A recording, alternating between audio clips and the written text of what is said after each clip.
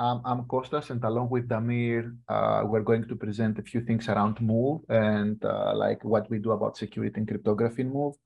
I'm personally a co-founder and the chief cryptographer at uh, uh, like Mysten Labs, uh, working on Sui now. Before I was at Facebook, leading the cryptography team there for the uh, Novi and the Libra ecosystem. And before that, I was also at the blockchain company R3, working on the Corda blockchain. Also did a few like things on enclaves using the Intel SGX and other stuff around security. And before that, I had like a PhD on bilinear pairings uh, and things that are used now in zero knowledge proofs. Uh, Damir, if you want to take a moment to also mention about yourself, and then I can uh, move on to the slides. Yes. Um, my name is Damir. I'm the author of, of the Move book and few important packages around Move and like for the Move ecosystem. I started using this language in 2019, which is pretty I mean, pretty far away from from where we are now. And so by this time, I think I, I go as the move guy and probably have more experience with move than anyone. I mean, actual practical like coding experience with move than anyone else. Yeah, so that's me. Cool. So uh, I'll get started. Uh, by the way, a few of these slides are from our CTO Sam. Uh, he recently presented um, uh, all of this work in uh, in a in a related event but we augmented it so we have more examples here and some discussions around cryptography. Um, very quickly, um, the outline will be around like uh, why cryptography like blockchains need a safe asset-oriented language. Uh, we're going to mention a few things about cryptography uh, that is used today in, in SUI and Move. And then we're going to combine, uh, we're going to mention how Move uh, you can actually have like an object-centric uh, data model. And at the very end, uh, how we can use this to, to scale. And Damir will present a few real-world examples on how you can actually code stuff on Move smart contracts. Um, so as, as we all know, the safety of our smart contracts is super important for the safety of our assets. Uh, on the left side, we have like a few cases that uh, uh, have been quite popular. For example, the Ronin network attack, uh, there was like a validator issue there, like five out of nine keys uh, were actually exposed. Uh, we have another attack like the Poly network, Wormhole, of course, a few things around bridges, Nomad Bridge again, and all of these things as you can uh, as you can expect uh, sometimes are based on uh, like issues on like the smart contract logic. In some other cases it's around key management. It's also around some weak primitives in some particular cases. So we had to actually create something uh, that we don't necessarily expect that contract developers will do better and it will help them to actually do safe and secure programming for uh, for smart contracts so at the same time, apart from the language, we also need toolings. And these toolings um, have to actually protect the users even from like accidental mistakes. I was personally like uh, a student of some uh, Udemy and uh, Coursera courses around Ethereum. And I remember when I finished this, I was back then at Facebook. I remember with my colleagues, uh, th there were a few examples like how to run a lottery on Ethereum. And then we realized, oh my God, this, this structure is actually uh, having some issues on the security side, and then you can break the lottery, and then you can break uh, a lot of the things that are happening there. Personally, I, am happy uh, that in the past I broke a lottery program, uh, literally stopped the ICO of a company doing decentralized lotteries on Ethereum. Uh, but since then, I moved to like more core cryptography there. But it was super, super easy to find bugs on, on Solidity, uh, especially if you're not uh, like security focused on, and you're just implementing like, I don't know, Python and in blockchains. So we need safer languages and we also need testing and verification. Um, this is uh, our motto on how we're going to grow the dev community and why we believe Move is a better language compared to Solidity and all of the rest, like Solana's Rust-based uh, language and all of this. Um, so why why we have smart contracts and why they differ from traditional languages, right? So in smart contracts, we actually uh, require to define the asset types that we want to transact with. We have to have a mechanism to read, write, and transfer these assets. And obviously, we need some access control policies. Especially the last one is something that is missing from all of the uh, like uh, modern languages before the blockchains. Um, and that's why you will see a few keywords uh, now, like uh, an asset has some dropping capabilities or some copy capabilities or uh, some other policies on how to react on this uh, that is not existing like in languages like Java and uh, like more higher level. Um, so we need safe abstractions. We're going to define custom assets. We're going to define ownership rules, access control uh, like mechanism, so strong isolation is a very, very important stuff. You will realize that uh, compared to Ethereum, that for example, everything is a U100 uh, 256. Here, you can actually write source code that interacts directly with untrusted code written uh, uh, like by motivated attackers. But because we we actually create all of this object into um, like uh, the, the real object we have in mind from traditional programming, you know exactly what you're expecting for. And um, this is this is why we have like uh, all of these smart contract languages, like blockchain languages. And even, for example, in Solana, they actually created a DSL where they restricted uh, uh, the uh, the Rusty's, uh, let's say, approach in order to only provide API that can be deterministic enough for uh, for this work. I personally did the same with Java. So in my previous previous place before Facebook, I was also doing uh, like um, a clean version of Java where everything there was deterministic by removing all of the stuff from there. But it was a very, very painful approach. So the fact that at Facebook we did move something from scratch without actually filtering out stuff, but putting all of the features that you need for blockchains, in my opinion, is a better approach.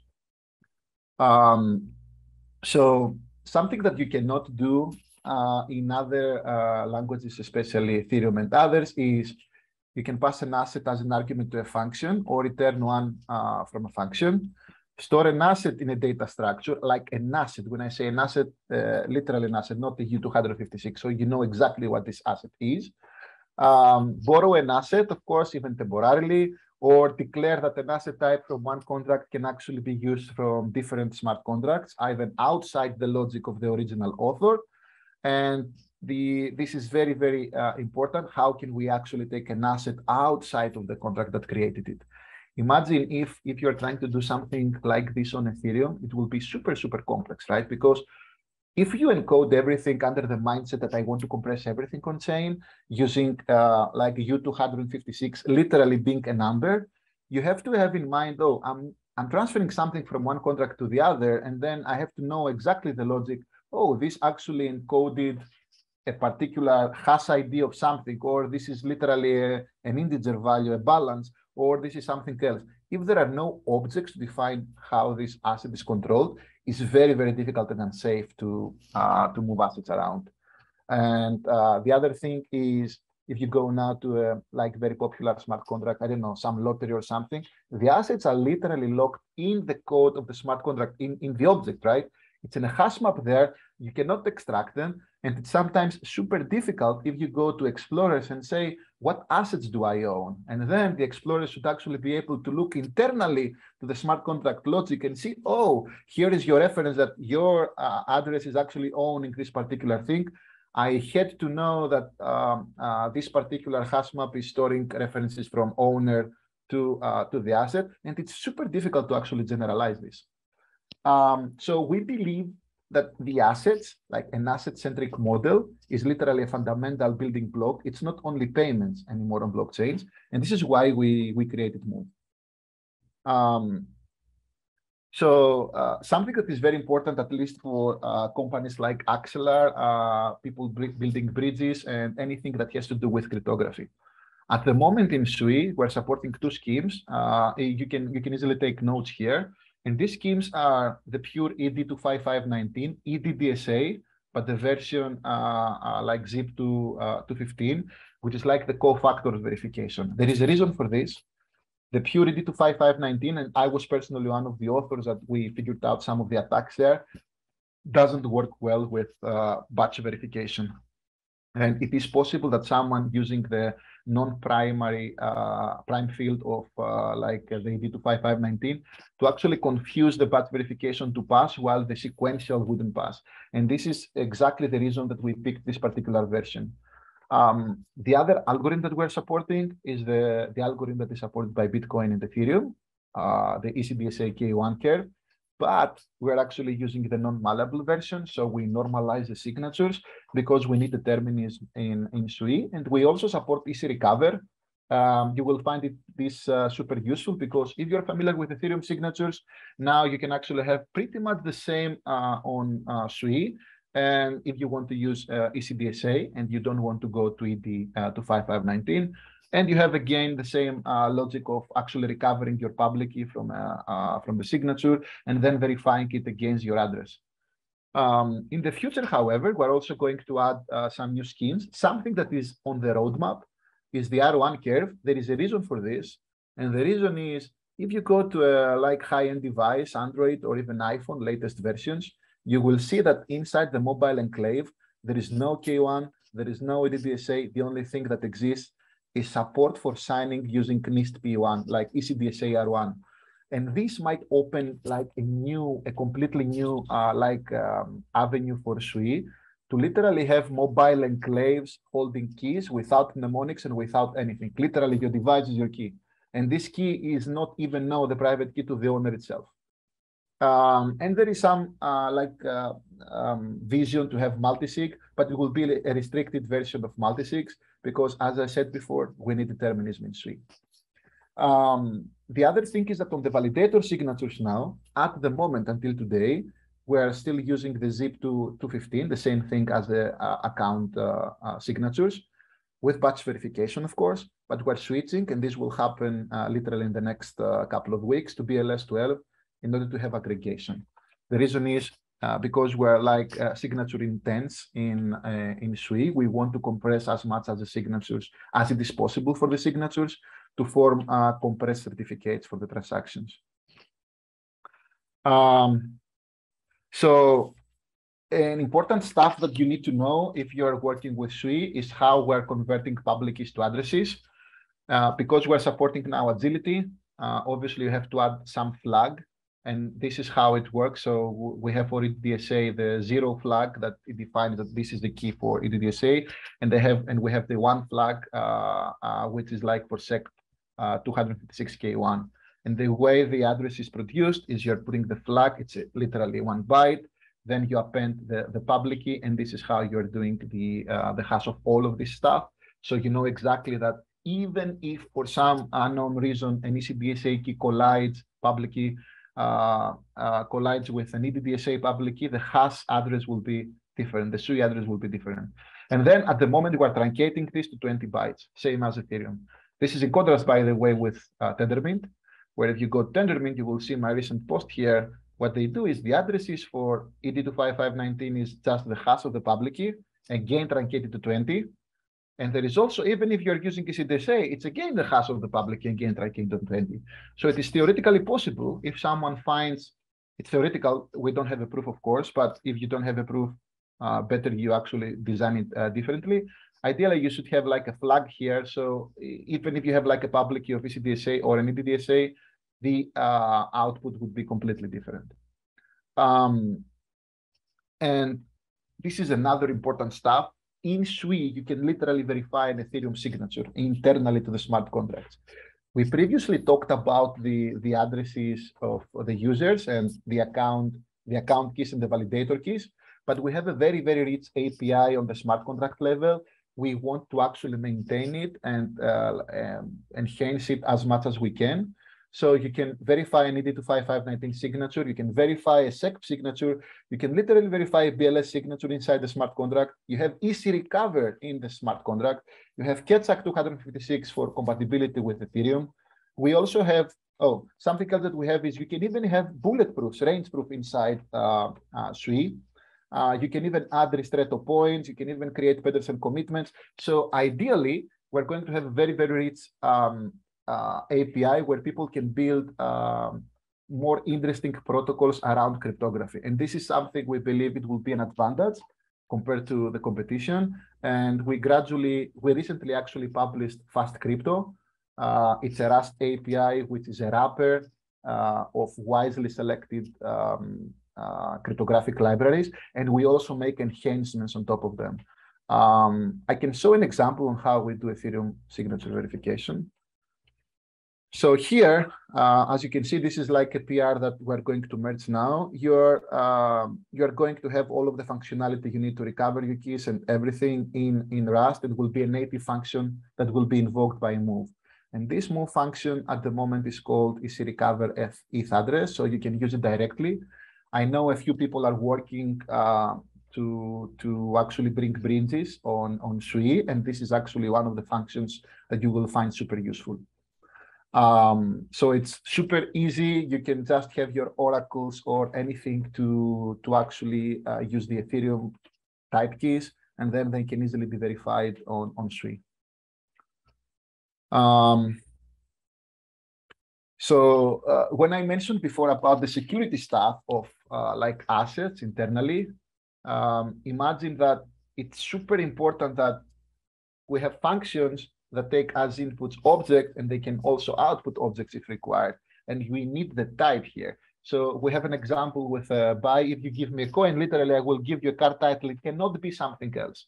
How you do this on Ethereum, you have to uh, actually uh, change the, the way of uh, thinking because previously it will be a U256 here and another U256 here. And then you have to know, oh, it's uh, uh, this U256, it's an ID or the other one is a balance. Um, and the other thing is obviously you can you can even have references. Uh, you can even have like uh, by value and everything. All of this uh, that you can see in in these examples are user defined types declared in different modules. But it is possible because now they're defined in a in a module, but you know exactly uh, what are the rules that mandate the the logic behind this asset that will be used in a completely different uh, smart contract. So register, the function register might be a completely different module that takes as input card title, coin, coin is in a different module, card title is in a different module, and even card registration can, can be in a, in a different module, like this one that we uh, defined register. So all of the assets in Sui, unlike most of the blockchains, can literally flow across trust boundaries without losing integrity. Um, um, we have a few uh, like keywords to to protect uh, the uh, the functionality and, and how the liabilities of each asset are defined. So, for instance, if something doesn't have like the copy uh, trait, in in theory you cannot you cannot copy it, right? I mean, you will see an error at the compilation time. I mean, while, while you're typing even on the CLI, you will see an error. Um, if you pass something by value, it's already passed, right? Uh, it's, it's moved. You cannot double spend it. You cannot literally use it twice here. And some some of them, some of the assets might not have the drop uh, like uh, capability, which means that if you try to drop something, if you try to delete, you cannot. And in this case, coin cannot be dropped, right? In, in this particular case, otherwise we could literally burn money. Um, so the the motto here is we ensure in Move that digital assets behave like physical ones, um, which is literally what, what you would expect from high-level languages, um, uh, trying to avoid uh, like mistakes from the developers. Um, as I as explained before, this is how you define these uh, uh, these abilities, these capabilities here. So we can have like a struct, an object type, which has a copy uh, like function. It might have the drop function. It might have the key function it might have the store function and it can also have uh, the store, sorry, the store capability. And it can also have, uh, no, I mean, it can be like a hot potato uh, uh like situation here where you don't have any uh, any abilities. Um, I think I can, uh, after this, I can move to, to, to Damir, but the the benefit with Move is platform agnostic. Yes, Sui is using it, but as you can see here, it's not only Sui using it, right? It's also Aptos, Zero L, Starcoin, and many others that uh, can uh, can take advantage of Move. So it's probably the first language that is uh, literally designed for blockchains, but not necessarily for uh, like our Sui or all of the other uh, uh, like other blockchains that they want to to to migrate. It's anyone can can literally use it to do um, asset oriented stuff it can be blockchain. It can even be like another payment system. Uh, but yeah, we handle all of the cryptography, uh, serialization, account formats. This can can be generalized as well. It's it's like uh, it's like a language literally built for all of the blockchain community rather than uh, like particular projects. Um, uh, and this is one of the reasons that we expect that tooling and libraries uh, will be involved And when we receive sometimes the, the question, oh, how, how can someone learn uh, learn Move? But Move is like a generic language now, right? Everyone can use it, which means that tools and uh, we already have some uh, like plugins for some of the most popular, um, uh, uh, let's say, uh, tools that you can actually write code, IDEs. And we expect that because there are so many companies now dealing with this, plus some other companies want to deal with this, the, the Move actually adoption will flourish. Damir, uh, up to you. Uh, can you go to the next one? Yeah. Um, as, as, as Costa said, I mean, the move focuses on security and I mean, basically on security uh, of, of, of everything that's inside the VM because we're talking about assets for which we need to make sure that there are guarantees that they will never like discard, copy it, or drop. And so whenever we we deal with an asset, uh, we are, I mean, we have guarantees by the VM that this asset is secure. Um, so to provide, I mean, to, to, to add additional, uh, I mean, additional security measures for that are things like static verification for the VM. So this is like a thing we can write as spec that this function actually does in the bytecode what it does in the source language um, all every feature of the language has, I mean, we don't have dynamic dispatch, sorry. Uh, we don't have dynamic dispatch. And if compiler tells you that this code compiles, then it compiles and it will work as expected. So we don't have interfaces for this reason because we can't have anything defined in the runtime. And like, if you have a dependency for your module, it has to be pre-down. I mean, you have it has to exist before you publish something. So we don't have this like weak, um, weak guarantees or like expectations that something will work. We have to have it statically uh, before we actually compile the code. Uh, so, so MoveVM compiles to be uh, to, to the bytecode. We have like the bytecode language. You can actually write programs in the bytecode language, but Move is like the high level source language for that. And we have additional bytecode ver verification phases where we make sure that assets are not lost and also in the in the bytecode. Oh yeah, I have to say that assets are a thing in the bytecode. So whenever some struct has some ability, which is like it, it cannot be dropped or it can be stored, all of this, all of these features are enforced on the bytecode level. Uh, can we go to the next slide? Thanks. Um, yes, uh, regarding formal verification, we have this tool called MoveProver. It's ongoing work. Um, it started back in Diem, where we're now continuing to work. I mean, we continue to work in that direction. Uh, MoveProver is a tool that allows you to write specs for your code to make sure that it does what it does. Um, all, all of the features, yes, of the standard library are verified and proved. And right now it's all open sourced and we are as a company and also Aptos and other folks from different companies are helping us uh, finalize the work on the prover. Um, next slide, please. So we actually have a small mix up of slides. Um, we're slowly moving towards like what move actually brings to the table as compared to Diem Move. And the only difference between these two is storage. So in Move, I mean, first of all, Move has account-based uh, model, which which means that like every asset is stored under an account.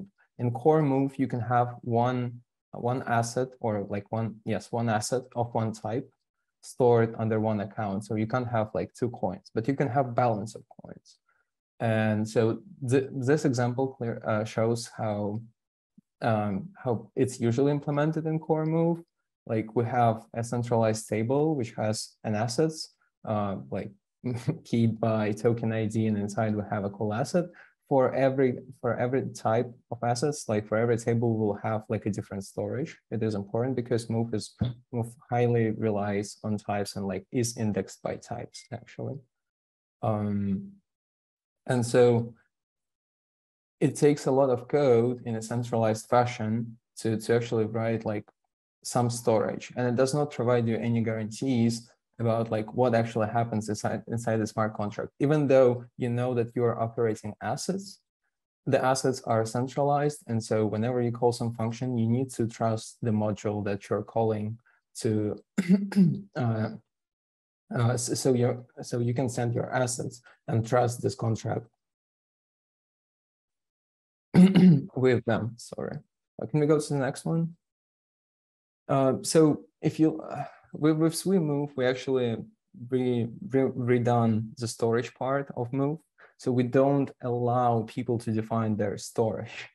I mean that's that's a very harsh definition, but we we created this free uh, free free ways of storing assets. We we added an owned one, which you see here. If there is an asset and we transfer it to account, it's actually being transferred and no one can access it. And we and and objects have their owner field. So whenever I mean, so like if there is a coin in the system, it has an owner field, which and this coin can only be accessed by its owner, by I mean, who's written for, I mean, who is set as an owner for this asset. And we also have a notion of shared objects, which we will get to because this clearly does not allow access, I mean, multi-party access.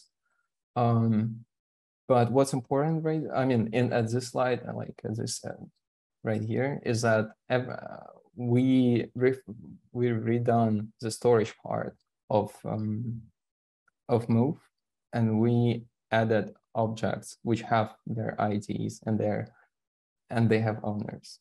Yeah, let's go to the next slide, please. Kostas, you sure you want to give this one to me? Think.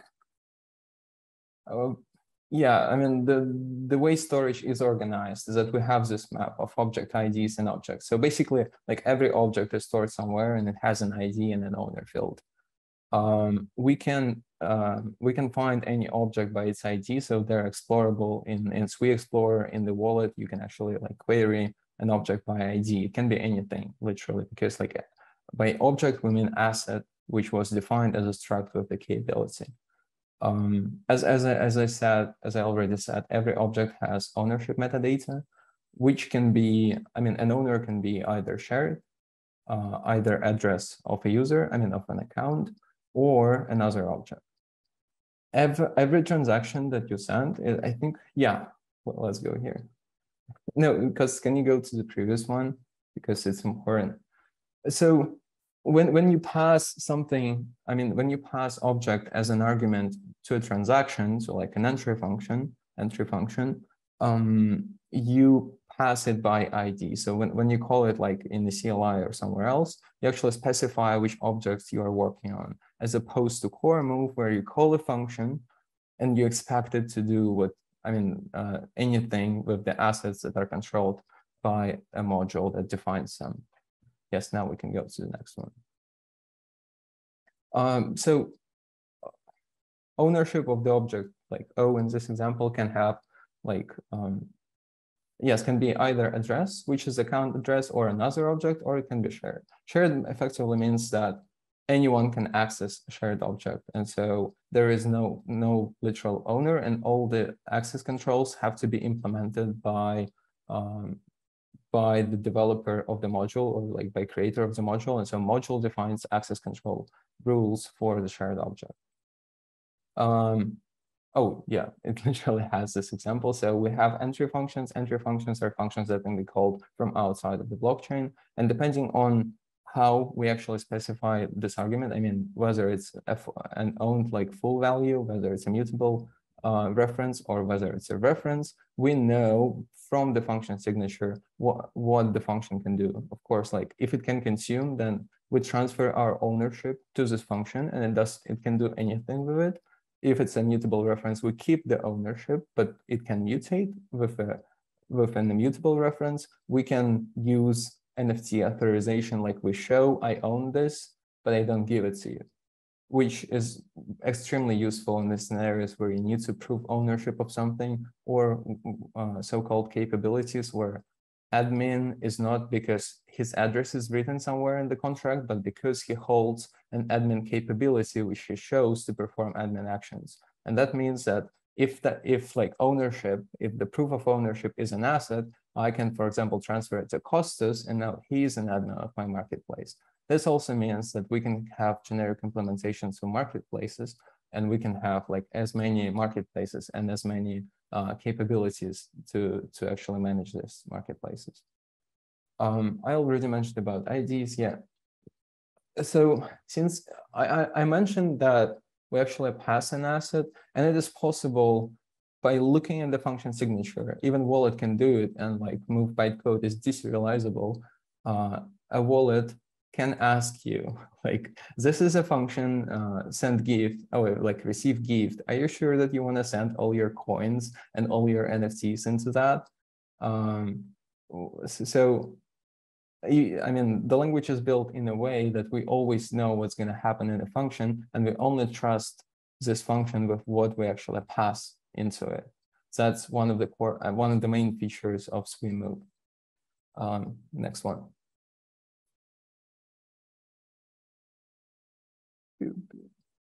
I can take it from here. Um, so there is a very interesting uh, uh, like uh, benefit of Sui, where there is uh, we actually have three three different types of uh, like operations uh, on the smart contract. Someone can even avoid consensus.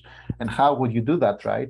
If you have owned object something that you own and you know exactly how to do your ordering in your like wallet or like in your application logic you don't necessarily need the the consensus to order your transactions you can literally send the transactions independently and because it's you that you are owning stuff you're 100% sure that you're going actually to uh, to pin uh, to the to the validators for from whom you expect the signatures.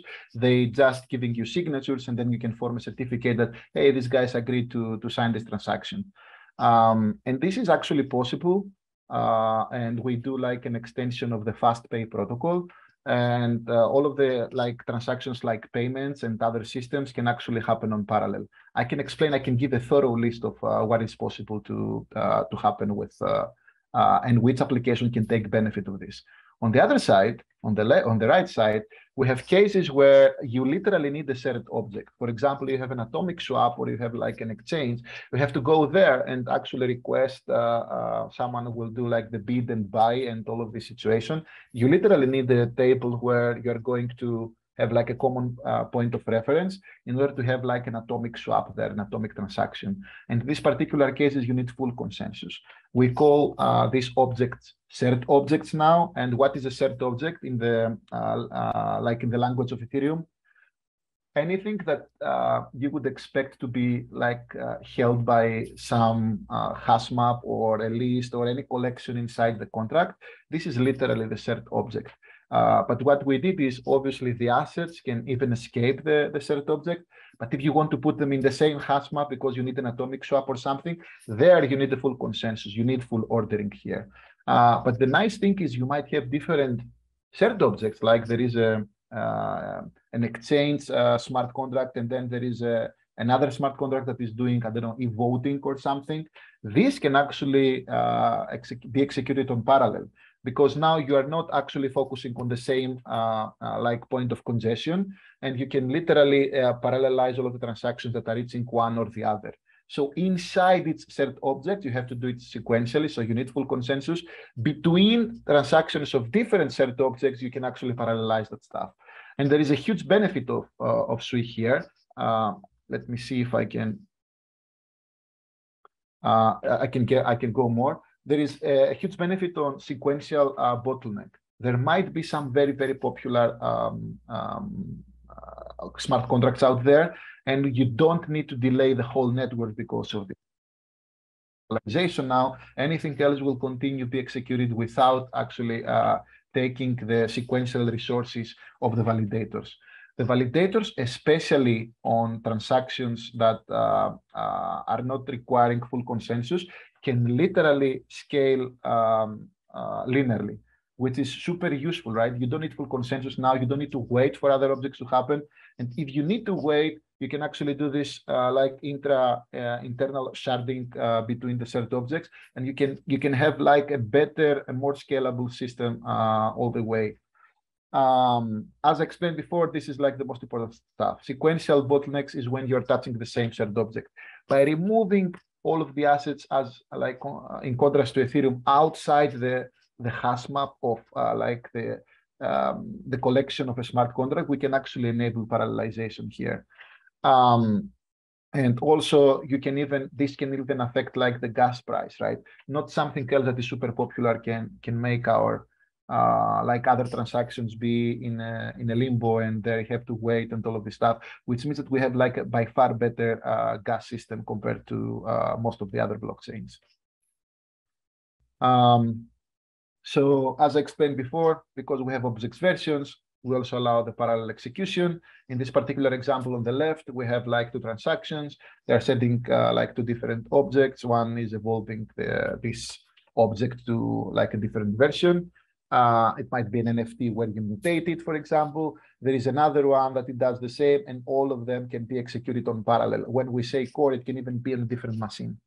And then you have like cases where there is a set object and in this shared object, uh, you're actually using uh, the IDX, which is like the, the shared object here. Um, and we have to sequence the transaction because they're touching the same um, uh, asset. Um, it's very, very important to understand what transactions can actually be used uh, for single writer. I, we have a list. I mean, if you type single writer friendly applications, who can actually avoid full consensus, right? Regular peer-to-peer payments. You go to Starbucks, you don't need to wait to form a block. You're, you're just receiving uh, uh, 12 plus one signatures and Starbucks can serve your coffee. Um, it's also confidential transactions. We can extend these with all of the abilities we explained before with bulletproofs, Pedersen commitments and everything uh, to actually have some confidential transactions for, for different assets. Bulletproofs and all of this can be used for other stuff, right? I mean, the purpose is not confidential transactions necessarily you can use you can do for KYC, you can do for for, for different stuff. But one of the applications is definitely single writer friendly. For anything that has to do with public bulletin board. Um, imagine you want to store files, you want to store links, uh, metadata. Why do you want to order these transactions between themselves? When I'm changing my website and Sergey is also changing their website, we don't need to coordinate, right? We can do on parallel. Nobody will stop us from doing this stuff. And this is exactly what we're expecting from a modern blockchain language. So for this particular case, I own my website. I'm the author of the website. Sergey is the author of uh, his website, and then we can actually run the transactions independently without waiting me if I have a heavy transaction for the transaction to complete until his transaction enters the chain, and then there is a sequence of events. Um, another interesting part is proof of existence. It's very, very similar to the above uh, but for timestamped documents. So imagine, um, I don't know, there might be someone who can predict the soccer outcomes or basketball outcomes. You can uh, you can even uh, put your uh, like uh, prediction there, and you can prove later on, hey, my prediction was before the match uh, finishes and all of this stuff. And you can do the same thing with published and revealed. You can even make your prediction in a hidden form, and then you can reveal it. Uh, but in all of these particular cases, it's something that you own. You don't need to have like full consensus. You can have a single writer. Um, then there are obviously private uh, decentralized repositories. You can have with some encryption, encrypted NFTs and other stuff. Um, a lot of like companies are now using the, the blockchain to upload uh, like uh, curriculums, uh, university degrees, repositories, and you can have like um, uh, very low fees here because you don't you are not affected by the, the traffic on the, on the rest of the blockchain. Um, messaging service apps. I mean, we even have an example on how you can do decentralized Twitter with Sui with 50 lines of code. It's super easy because what is a tweet, right? It's an NFT. And because it's an NFT that you own, oh, you don't need consensus anymore, right? It's my my tweet. The only thing that can happen is other people will probably retweet or like, but what they need is the ID reference, nothing else.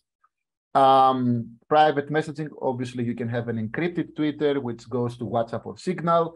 Then you can actually have the, the same for blog platforms ratings. I mean, a Yelp or a TripAdvisor on Sui would be like a, a, super cool idea. You can have personal GitHub, uh, with shopping lists and everything. Um, it's it's very important that a lot of people are using it for non-interactive games. Uh, for example, you can have a SimCity, you own everything. You're not interacting with someone. You don't need a shared object. You can actually have this on uh, single writer transactions.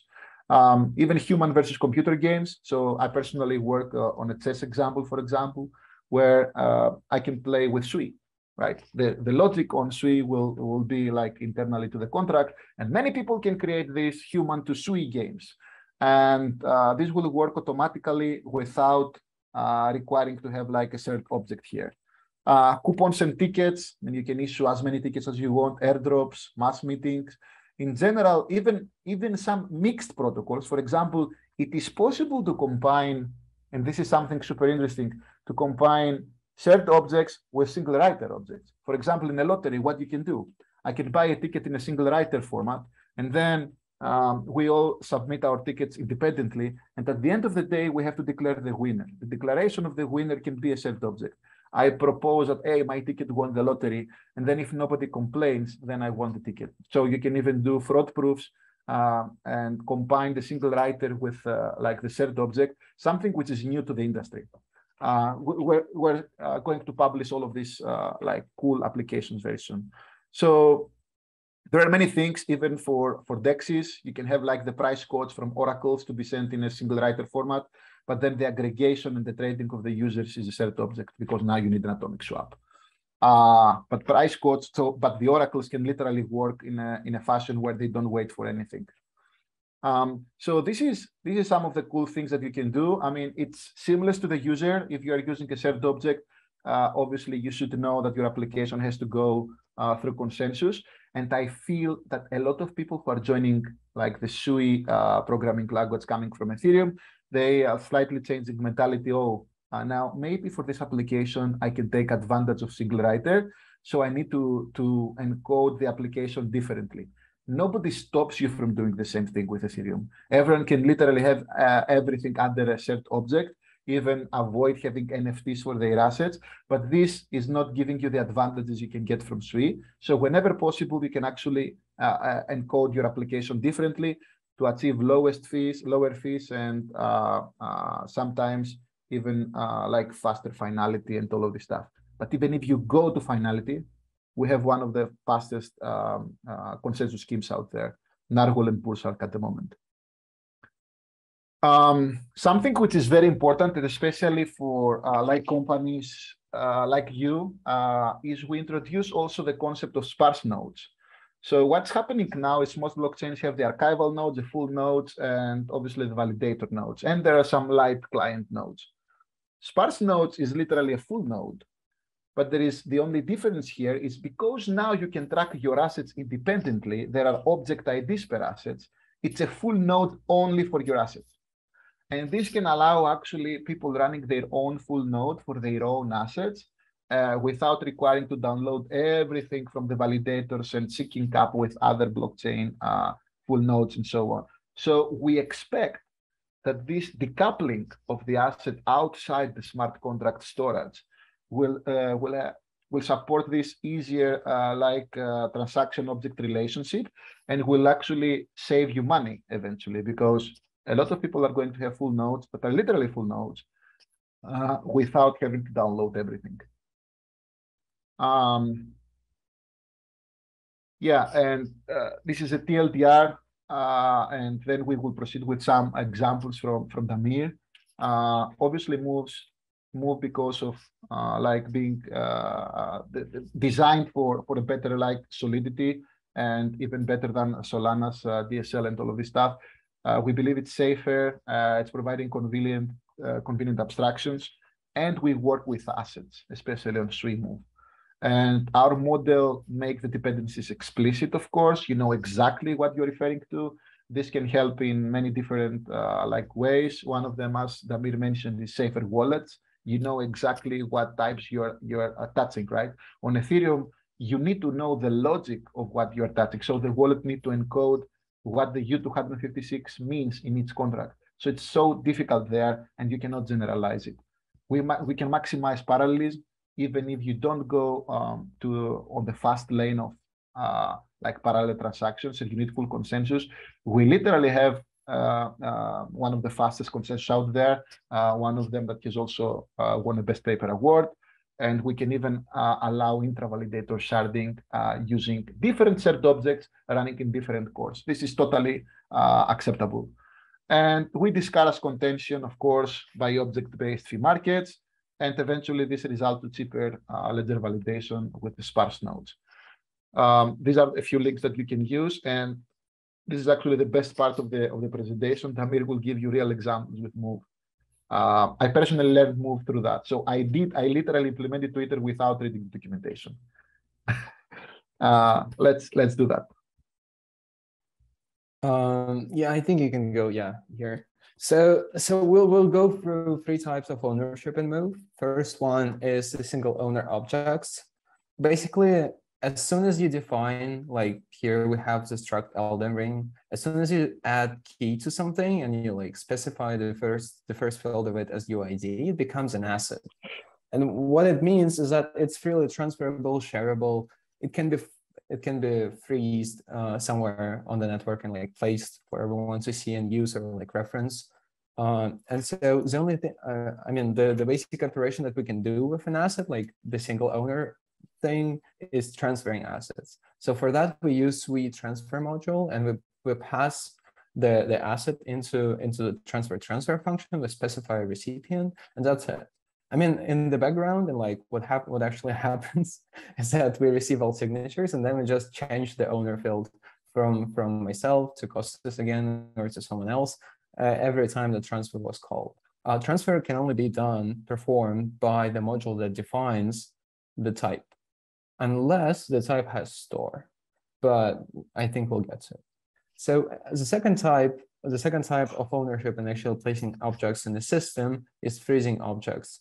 It's one of the like most underrated ones, and we're still trying to figure out like the best use cases for that. For example, like submitting results of a lottery, as Costa suggested. But I, I love this one for configurations. For example, we can make sure that, I mean, we can um, we can have a proof that some configuration was provided by the module on a blockchain. So whenever we like see objects of this type, we can have additional description in a wallet or an explorer. So like in this example, we publish a wallet configuration uh, object right in the module initializer. Module initializer is a function that is called once on the mo on module publish. So like we publish it, it's called, and no one can call it ever again.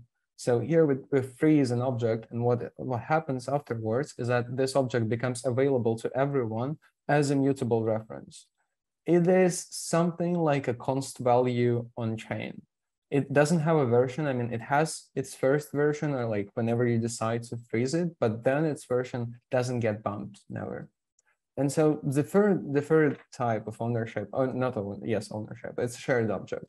Uh, here we have two slides actually, Kostas, but let's start with this one. So shared object is an object that can be accessed by everyone. To make this example more generic, eh, I mean, this counter example, anyone can create a counter. So whenever someone calls like a create, they share an object counter. And so on, on the network uh, appears a new counter object, which can be accessed by anyone, including mutably.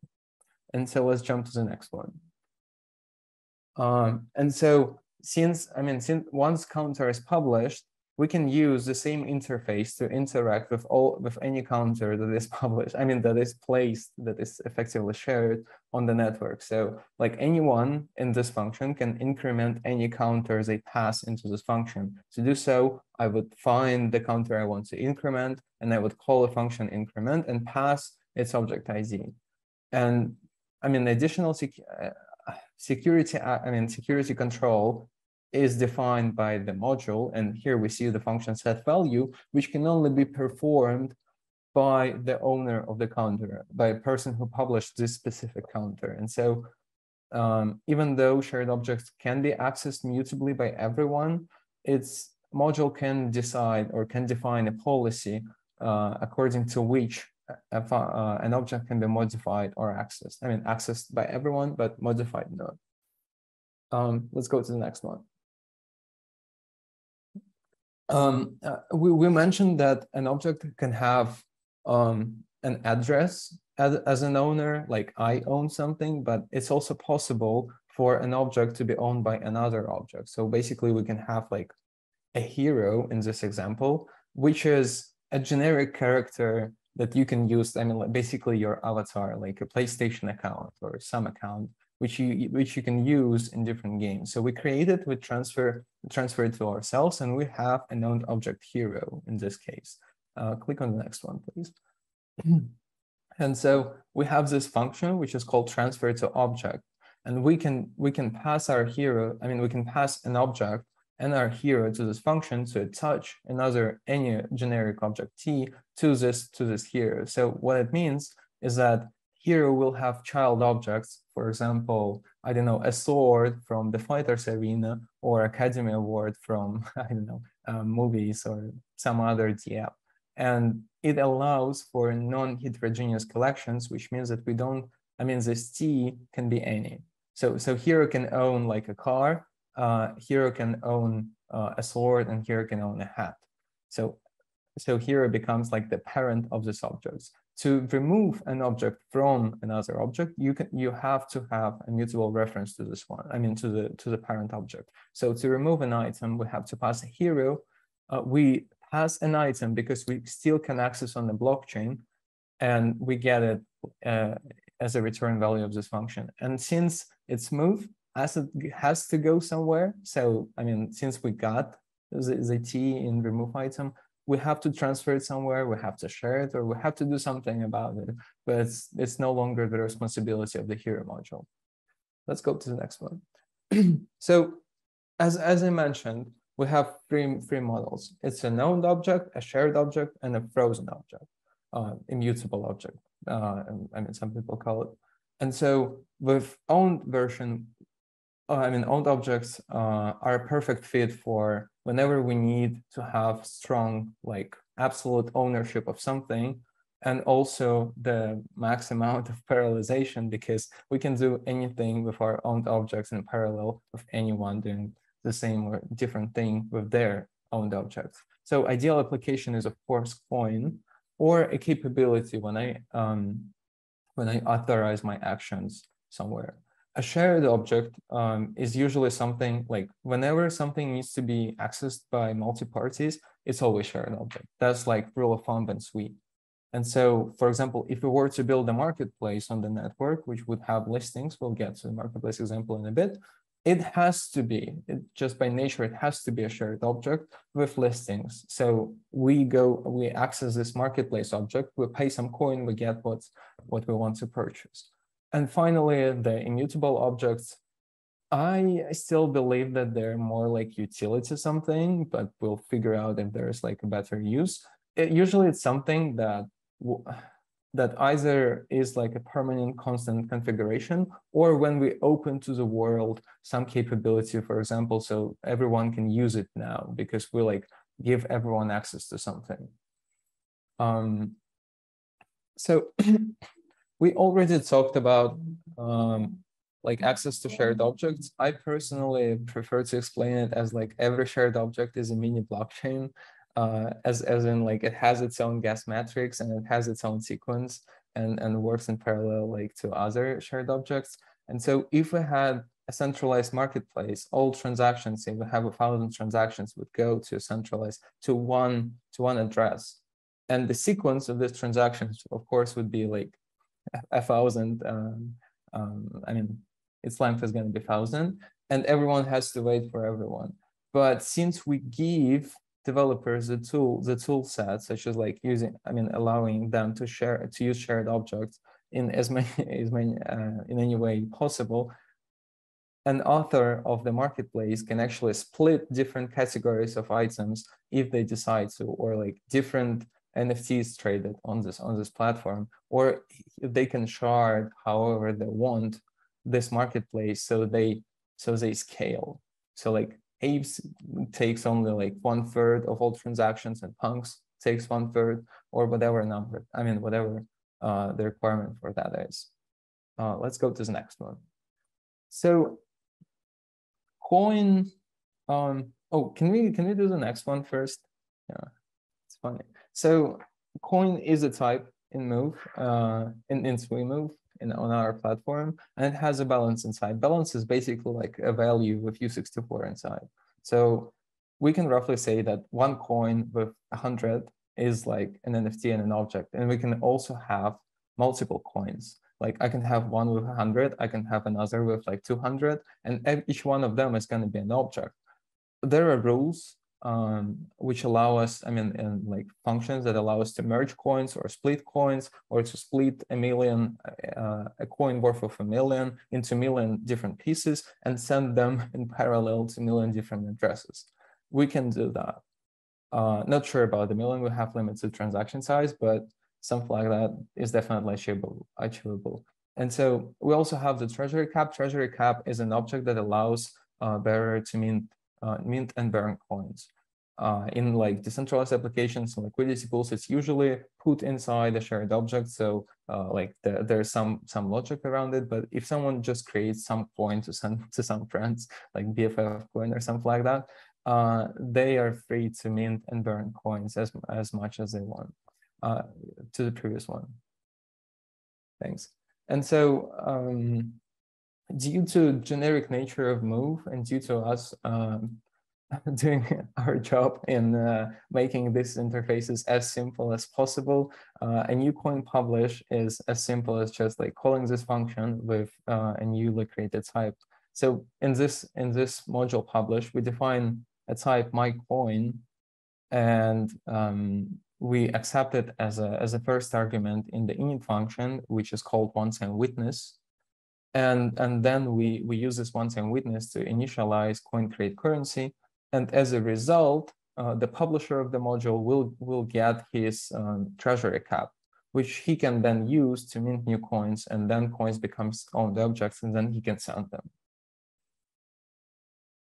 Um, so getting getting to the marketplace example, marketplace is usually like canonical implementation of a marketplace right now is having a one or multiple shared objects with listings. Listings are like the specific listing with an item with generic item T. It doesn't have to be of the same type.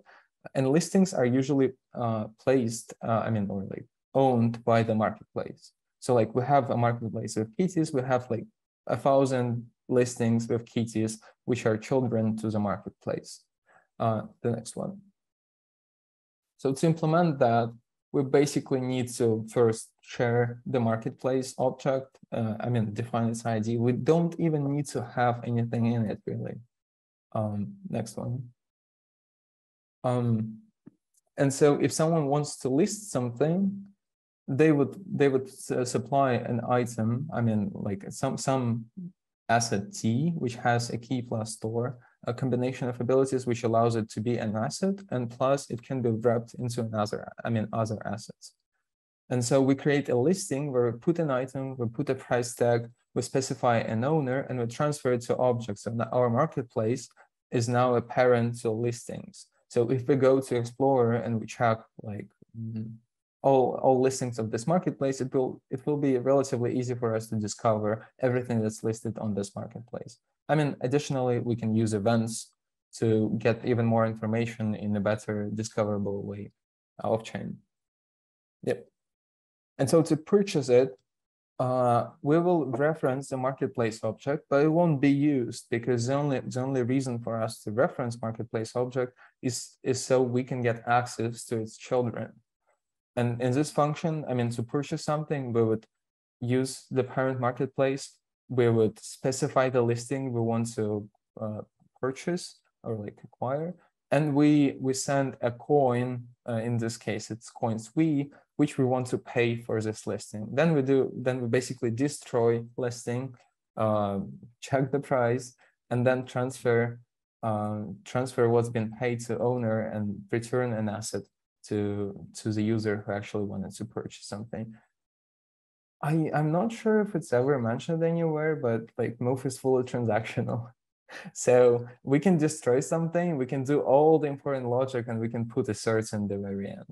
So it's it's a right to to to mess up uh, the asserts logic and all the checks that are required for some operations. Um, I think that's it for me, Kostas. Yeah, that's yeah, that's that's one. that's everything, right? This is the last slide. Mm-hmm. Yeah. Uh, yeah, we we use the whole the whole hour, guys. We we know that, but yeah, we uh, I'm personally free for a few questions if you're up to. Awesome. Well, yeah. First of all, thanks, guys, for walking through this. I think this is super super helpful.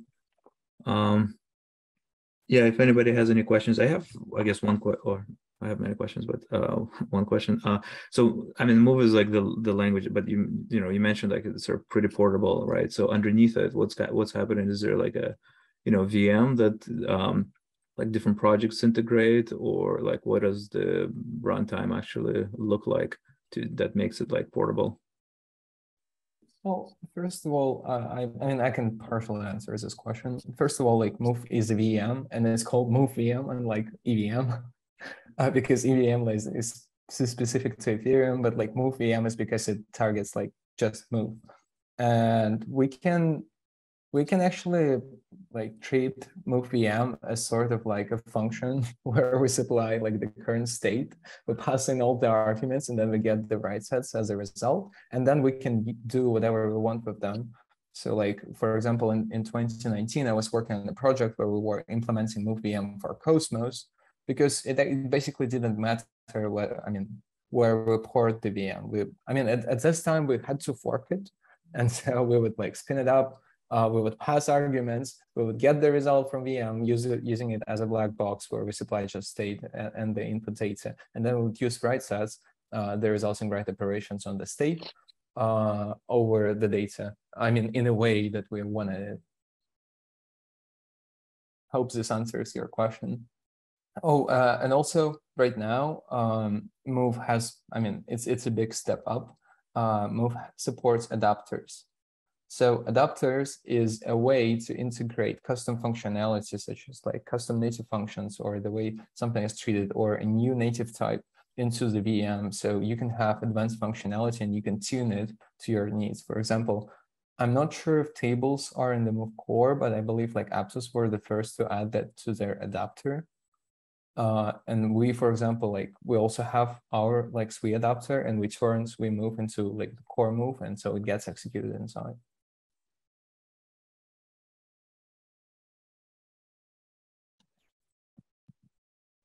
Cool. I guess another question. So I guess like when it comes to objects, right? Uh, maybe it wasn't just quite clear. So are you guys defining all of these like core objects uh, and it gets shipped with, you know, um, with Sui itself? Or like, is there a way for a developer to add, you know, different types of objects? And I guess like what happens if you you know if you actually need to change right uh kind of some interfaces or like semantics of an object or like guarantees with it? Is that kind of consensus upgrade or is that kind of upgrade to the move itself or how does that look like? Um, so yeah go for, for, for the objects is uh, it's very straightforward answer right? I mean you can define your own objects of course. I mean if you want to create uh, cats and dogs and all of the types of nfts and new coins that you want you can you can go and create them. There will be a few objects that we define, like for example, coin, which is like the uh, uh, like the struct that we we can provide here that is maintained by the uh, the move ecosystem, and obviously there will be some voting process for upgrades and anything required there. But for the custom operations, it's up to the developer to define their their own types. Right? Nobody stops them from creating new objects. And so like, okay, so you have, you said you have coin, are you going to have like other types of assets, like, you know, NFTs of the world and like things like that, or? Uh, it, yeah. Yeah, as I mentioned, as I mentioned before, at least uh, I can even go like to cryptography and all of this stuff, right? We have Ristretto point, for example, it's a struct. There will be a few things uh, out there to help you actually implementing stuff. And at the same time we we allow uh, like any flexibility for the users to do their own. But there will be there will be a few. I don't know if um, we have examples uh, but uh, i know damir uh, might also be familiar with other types that might be super useful for for development. Um usually people mean two things when they talk about blockchain smart contracts. They usually mean nfts and coins I mean, like ERC20 and ERC721 de facto became standards for the industry. And our response to ERC20 is a, coin module, which is built into the Sui framework, which anyone can instantiate with their custom type, which is guaranteed to be the same as Sui coin or any other coin on the network. So this is like the same guarantee that we provide for everyone to, through the standard library. And we simplify this process. So you don't need to re-implement, you don't need to re reinvent, reinvent the wheel uh, to actually have a new coin type added. Um, but with NFTs, it's a it's a completely different uh, type of like discussion because since everything on Sui is is already an NFT in a way because it has unique identifier. It is non-fungible, but there are like different ways you can work with these NFTs. We don't have anything right now to like offer to broader public because we don't see um, a point why we would actually constrain someone and give them some some um, some built-in type because they can actually build their own we can create a generic like st standard or something, but we would keep the details of implementation, how this object behaves, whether it can be transferred, whether it's always shared or it's always owned, or whether it's an own that can become shared, or whether it's like a logical ownership on a shared object where you have an owner field on a shared object and you manage the access to this object. So it's everything is up to developers to decide what they what they see like more natural for them um but we, we we do have like built-in types. We did not add new built-ins. Like we still have vector of any type and that's the most complicated uh, native type that we have in the system. So everything else is structs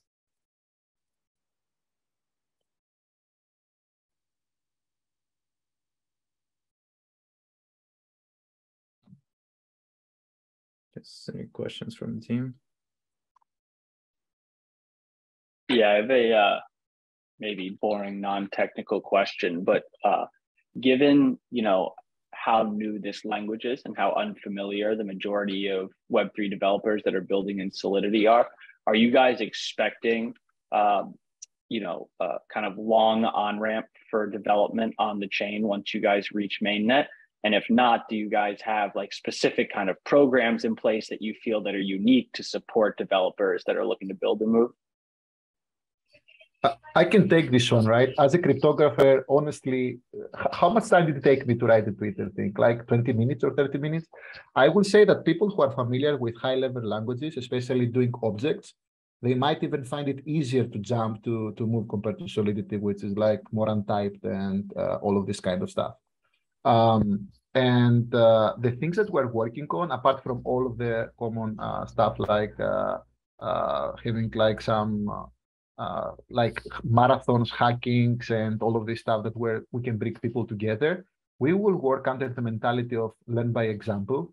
So we're going to port a lot of the most popular, most of the most popular um, um, smart contracts out there, even on Solana, Ethereum, and all of the other uh, uh, like blockchains to Sui and move. And we're going to create it to create matrices for comparisons as uh, like Damir did. Actually, Damir started all of this led by example in, in Sui, which we believe it's it's by far different approach. And I can tell you for sure that I met personally with developers who didn't read a line of code in the documentation. They start from the examples, and this is how they onboard to the to the system. The second thing is uh, I personally use CLion, for example, as an editor, right? And there is also VS Code and all of this stuff. There is already um, a plugin to, to be able to write and compile move and write move. Uh, which means that uh, this is already happening. And the fact that it's not only one uh, like company that is building uh, Sui, uh, sorry, Move, uh, and it's also another five uh, companies and some others are also exploring it. The community is even broader than that, right? It's not only us focusing on bringing people from, from Ethereum or Solana to Move. And there are uh, in my opinion, something that is starting happening is are a few PhD students and some other uh, like researchers who are actually comparing the languages between themselves. Uh, and at the moment, the, the benefits seem to actually favor move at least on uh, robustness, security, and other things. And it doesn't feel so uh, like complex and uh, so difficult to actually have a ramp up from like Ethereum or higher level languages to move. We're going to follow all of the things that other people are doing. We're going to, to work on, on tooling, especially plugins, ID, support, and all of this stuff. Learn by example, we believe we will be like uh, one of the most uh, significant uh, like benefits of what we have to offer.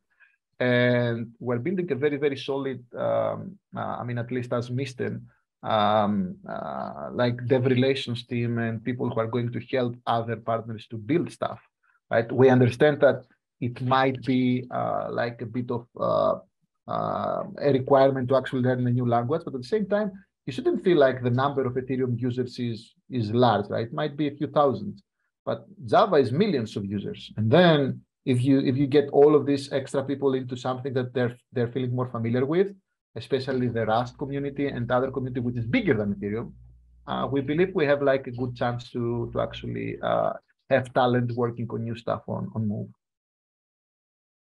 Helpful. Thank you, guys. You guys are in incentivized testnet right now. Is that right? Yes, we're in the process of actually publishing the testnet. We're we're still devnet and uh, pre-testnet stuff, and there will be testnet announcements in, in a while. Is there an updated ETA for mainnet? I think uh, last we had spoke uh, October, but is that looking aggressive now? I think uh, this this all depends on uh, like uh, engineering criteria compared to having specific deadlines as we we we did have. Obviously, we're getting feedback from DevNet and uh, like pre-testnet and partners, and I think there will be clarification in in the upcoming weeks for this. Sounds good. Thanks.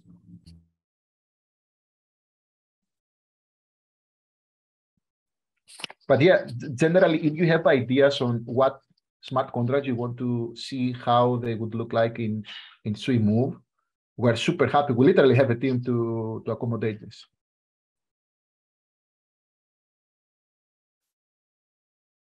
Awesome. Sounds good. Anything else? I guess I have uh, maybe the last question. Um, you mentioned about ECDSA R1, right? And like, you know, you can use like a phone um, Yeah, your identifier, which I thought was pretty cool. Um, uh, but I, I don't know how the enclave like implemented. How do you do recovery in that case? If you you That's- that's- like that's a very that's a very good question. First, it, it will probably be accompanied with multisig, and you might you might have something like written on a paper, and then you're using your phone, or you might have multiple devices, and then if you lose all of the devices, obviously there is a problem. But also, I, I don't know if you know that myself and Sam, especially the CTO, are also the authors of the Kilos protection uh, mechanism. I don't know if you if you've seen it. It's the only method that even if you lose your key, there is a way to actually get back your account under certain circumstances. I think this is the only post-event solution in the industry at the moment. It's called Kilos protection. Um, uh, it's it's like kelp, like the, the plant in the in the ocean, and uh, we're planning to actually have some very very cool um, uh, like ways of recovering accounts, even if you lose your private key.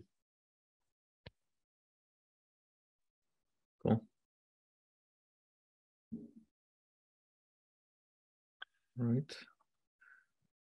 Well, if nothing else, I think, yeah, thank you guys so much for uh for joining us and uh, walking through this. This is um super exciting and yeah, looking forward to kind of continuing the the integration.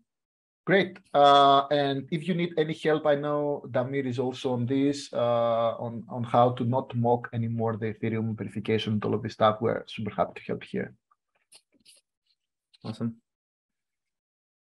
Thank you. Alright. Thanks, Thanks, thanks guys. everyone. Good to see you again. Thank you guys. Bye bye. Thank you. Thanks. Bye.